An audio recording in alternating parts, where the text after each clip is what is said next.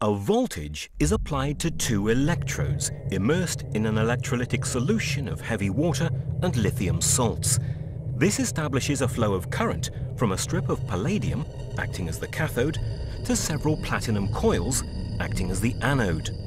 Temperature sensors measure the temperature of the electrolyte solution within the cell, as well as the cooling water that surrounds it in the larger jacket container. Within the solution, Many of the D2O heavy water molecules are dissociated into OD negative and D positive ions.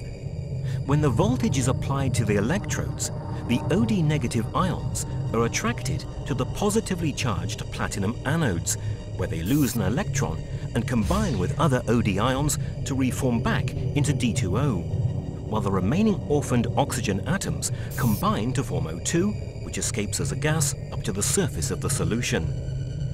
Meanwhile, the D-positive ions are attracted to the negatively charged palladium cathode, where they quickly find an electron on the surface of the cathode to neutralize their charge.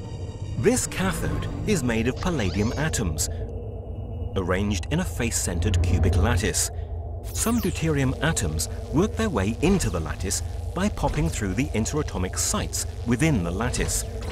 Other deuterium atoms bump into each other along the surface of the palladium cathode and form a D2 molecule that's too big to enter the lattice. These D2 molecules cluster to form bubbles that rise up in the electrolyte solution.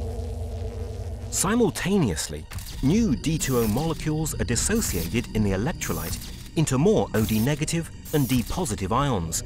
So the process continues as long as the voltage is applied.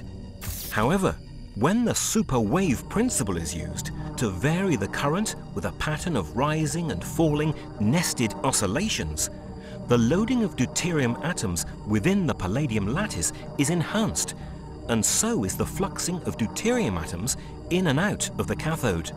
As the concentration of deuterium in the lattice across the cathode surface increases, the deuterium starts to work its way deeper into the lattice, popping into neighboring interatomic sites. As the deuterium occupies more of these interior sites, the lattice dimensions increases a little. This lattice expansion causes mechanical stresses in the cathode that impose resistance to deuterium diffusion, thus requiring higher currents to force more deuterium atoms into the lattice until it reaches saturation. When the concentration of deuterium within the lattice is high, they begin to move more collectively like a school of fish or flock of birds, not all at once, but increasingly synchronized over time. At this point, pairs of deuterium atoms begin to disappear, fusing together to form an atom of helium-4 isotope. A significant amount of heat is released in this fusion process. The energy released by each helium atom that appears, 24 million electron volts, is dissipated by the lattice as heat, raising the temperature of the palladium electrode and the surrounding electrolytic solution. The amount of energy being generated by this fusion reaction is 5 million times greater than if those same two deuterium atoms were chemically combined to form a single D2 deuterium molecule, and 10 million times larger than the oxidation reaction to create a D2O heavy water molecule. It is this excess heat that is causing such excitement within the scientific community.